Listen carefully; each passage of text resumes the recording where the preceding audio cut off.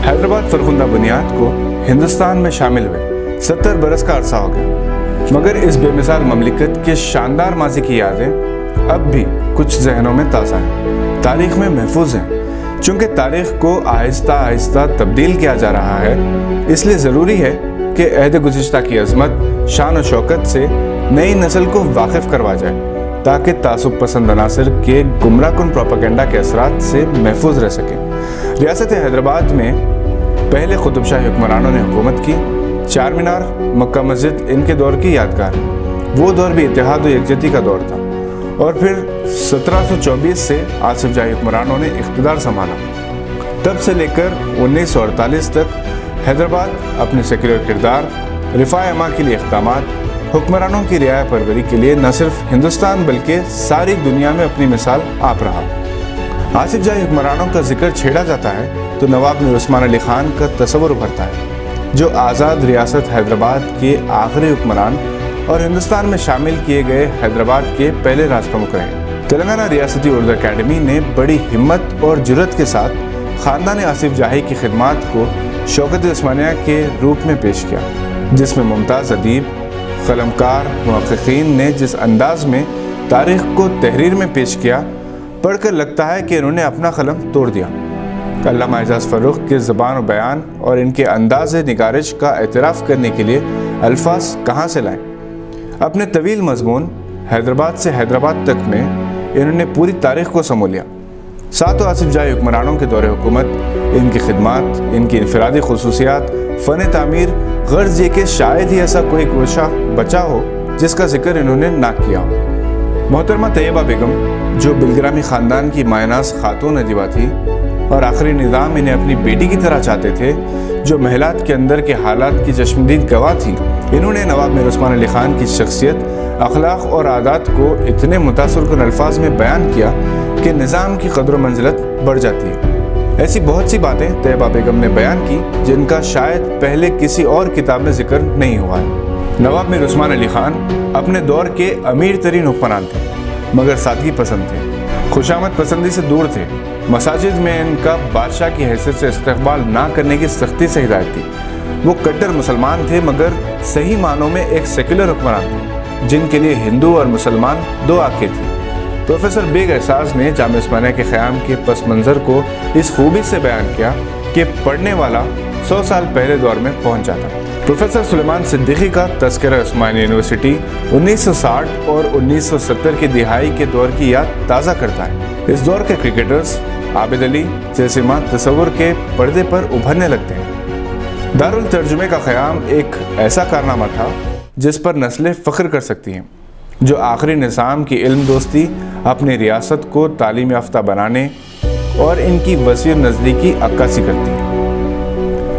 बदर शकेब का मजमून दस्तावेजी अहमियत का हामिल है गौसिया बानो ने आखिरी निज़ाम के फरामीन और दस्तावेज़ात की तफसीत बहुत ही दिलकश अंदाज में पेश की। इनके फरामीन, इनके मिजाज, फितरत फराख दिली के साथ साथ खुददारी की भी शहादत देते हैं। चाहे वो मुसलमानों के मजहबी मामलों में वायसराय की मदाखलत को कबूल ना करने से मुतल हो, या जोश वाली आबादी को मुल्क बदर करने से मुतल हो, या फिर इबादत गाहों को जारी किए जाने वाले अहतियात और जागिरात से मुतल अब्दुल अज़ीज़ सोहेल और डॉक्टर शीला राज ने अपने अपने मजमून आसिफ जाह हुक्मरानों की रवादारी पर जो कलम चलाया, वो दरअसल तासुब पसंद अनासर का जवाब जो निज़ाम को एक फ़िरका परस हुक्मरान साबित करने के लिए कोशिश करते रहते हैं। क्या आप जानते हैं कि आसिफ जाही सात हुक्मरानों के दौर में वज़ीर अजम से लेकर दीवान के अहदे तक ग्यारह गैर मुस्लिम फायज थे? आखिरी निज़ाम के वज़ीर अजम महाराजा किशन प्रसाद और कमिश्नर पुलिस राजा बहादुर वेंकट राम रेड्डी थे, जबकि हर मज़हब के लोग निज़ाम के दरबारियों में शामिल थे।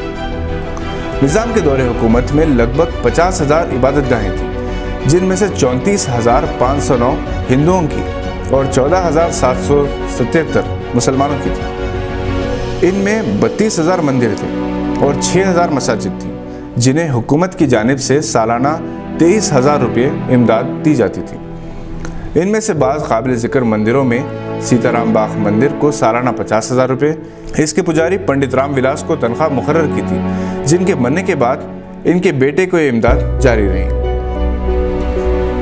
कई मशहूर मनादिर को बाकायदा ग्रांट जारी हुई थी, जिनके फरामीन मौजूद हैं। इन मनादिर में किशनबाग टेंपल झाम सिंह टेंपल यादगिरी गुट्टा भोंगीर, भद्राचलम की रामनवामी टेंपल बालक दास मठ आनंद गिरी और तिरुपति की बालाजी मनादिर काबिल ज़िक्र हैं चर्चेस, गुरुद्वारे मिशनरी स्कूल्स को ग्रांट दी जाती रही। डॉक्टर आमिना तहसीन ने अपने मजमून में बताया कि किस तरह आखिरी निज़ाम के दौर में खातन की तरक्की के लिए राहें हमवार की गई, मौाक़े पैदा किए गए। डॉक्टर मोहित जावेद ने तफसीली रोशनी डाली कि किस तरह उर्दू सही मानों में दौरे आसिफ जाही में परवान चढ़ी।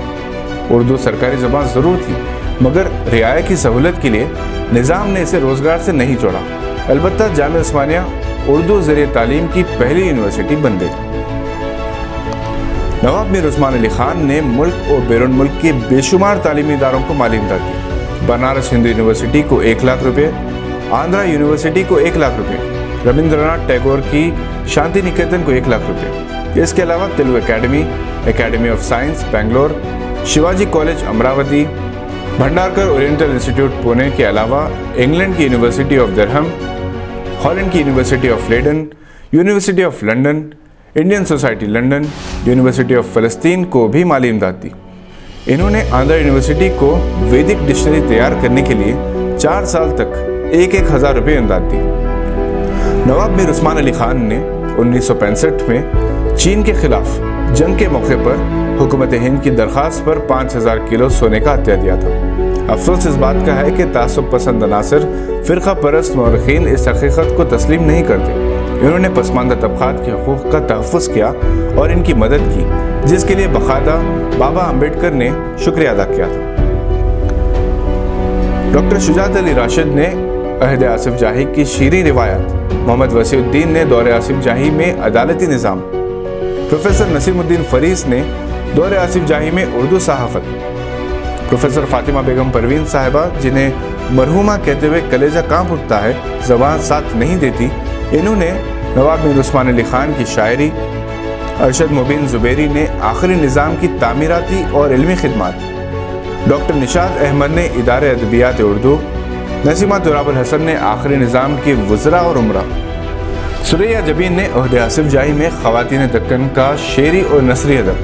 प्रोफेसर मोहम्मद अली असर ने अहद उस्मानी के उर्दू अदब पर और साबिर अली सेवानी ने निज़ाम ट्रस्ट लाइब्रेरी पर तफसील से रोशनी डाली। जबकि प्रोफेसर फजल्ला मुकरम ने हैदराबाद की तहजीब, रस्म व रिवाज पर जो तहकीकी मजमून लिखा है, इसमें अहद गुज्त का रमज़ान, बकरीद मिलादुलनबी सल्लल्लाहु अलैहि वसल्लम के जश्न, मुहर्रम के सगवार दिन होली, दिवाली, दशहरा नौरोज़ क्रिसमस, तमाम मजाहब की दें न सिर्फ़ शादी ब्याह बल्कि हर उस रस्म का ज़िक्र किया है जो हैदराबाद की तहजीब का लाजमी जुज रही। हैदराबाद की इमारतों, महलात, जेवरात की कदीम तस्वीर इस किताब की जीनत में इजाफा करती है। शौकत उस्मानिया यकीनन एक भारी भरकम जखीम और कीमत के अतबार से महँगी किताब है। मगर शौकत उस्मानिया को इसी शान शौकत के साथ पेश किया गया। ये किताब निजी कुतुब खानों की जीनत और विखार में इजाफा करती है। ये तालीमी इदारों के कुतुब खानों में रिसर्च के लिए रहनुमाई कर सकती है। दयार गैर में रहने वाले हैदराबादी इस किताब के औराख में अपने प्यारे हैदराबाद का लम्स महसूस कर सकते हैं, अपना माजी तलाश कर सकते हैं और अपनी नई नस्लों को इससे वाकिफ करवा सकते हैं। तेलंगाना उर्दू अकेडमी से उम्मीद की जाती है कि वो अरबाब इकतदार से नुमाइंदगी करें कि दौरे आसिफ जाही के वाक़ात हुक्मरानों के सेकुलर किरदार और इनकी खदमात और कारहाय नुमाया को स्कूल के निसाब में शामिल करें। मीडिया प्लस और गवाह, एक अच्छी दस्तावेजी किताब की इशात के लिए उर्दू अकेडमी को और इसके जिम्मेदारों को मुबारकबाद पेश करते हुए इनसे गुजारिश करते हैं कि आम खारी की खवल ख़रीद के मुताबिक इसका पेपर बैक एडिशन भी शाये किया जाए। आपने लगभग 500 सौ सफ़ात की शौकत स्मानिया की एक झलक देखी। उम्मीद है कि आपकी मीयार के मुताबिक होगी। शुक्रिया।